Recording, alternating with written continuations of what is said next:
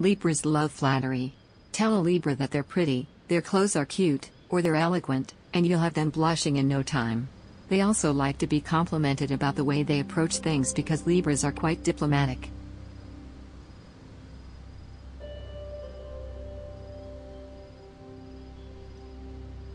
Why can Libras be so hard to date? Libra tends to be a big flirt, and it may take some time before they decide to commit to just one person. They could have several people that they're talking to at once, so it might be difficult to read how a Libra really feels about you.